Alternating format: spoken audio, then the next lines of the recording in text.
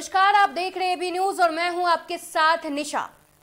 दिल्ली के सीएम अरविंद केजरीवाल की मुसीबतें कम होने का नाम नहीं ले रही है, लेकिन इससे पार्टी को कोई फ़र्क नहीं पड़ता है। और भगवंत मान ने अब कमान संभालते हुए बड़ा ऐलान किया है, जिसके बाद संजय सिंह ने भी उनका साथ दिया है। दरअसल लोकसभा चुनाव में दिल्ली में कांग्रेस के साथ चुनाव लड़ने वाली आम आदमी पार्टी ने अब बड़ा खेल कर दिया है। हरियाणा में होने वाले विधानसभा चुनाव को लेकर आम आदमी पार्टी ने बड़ा ऐलान करते हुए कांग्रेस को झटका दिया है। क्योंकि आम आदमी पार्टी ने कह दिया है कि वो हरियाणा में किसी से गठबंधन नहीं करेंगे और अकेले दम पर चुनाव लड़ेंगे।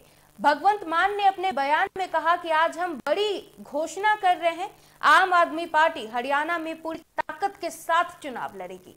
हरियाणा के लोगों ने हमसे पूछा है कि आप हरियाणा में क्यों नहीं आते हैं? हम हरियाणा में ही बदलाव लाना चाहते हैं। हरियाणा के लोग बदलाव चाहते हैं। पंजाब के सीएम भगवंत मान के इस बयान पर संजय सिंह ने भी समर्थन दिया है।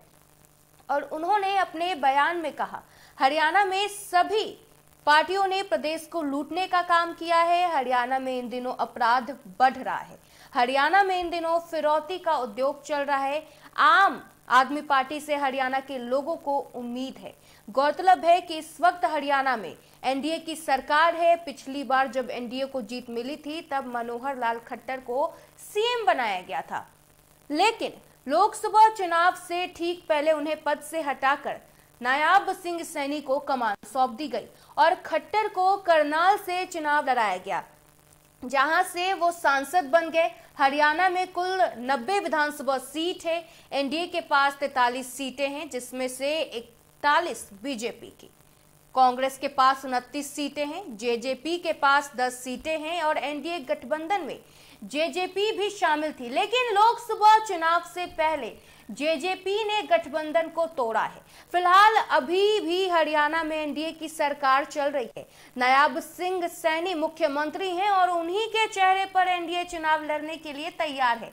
देखना होगा कि बीजेपी अब की बार क्या कुछ कमाल दिखा पाती है। लेकिन जिस तरीके से आम आदमी पार्टी ने बड़ा ऐलान किया है और दिल्ली में लोकसभा चुनाव कांग्रेस के साथ लड़ने के बावजूद पंजाब और हरियाणा में अकेले विधानसभा चुनाव लड़ने का ऐलान किया है। उसके बाद बेहद ही दिलचस्प चुनाव होने वाला है। देखना होगा कि सत्ता में कौन आता है। और इस खबर पर आप अपनी राय कमेंट करके ज़रूर बताइए। वीडियो को शेयर करें, लाइक करें, चैनल को सब्सक्राइब करें। धन्यवाद।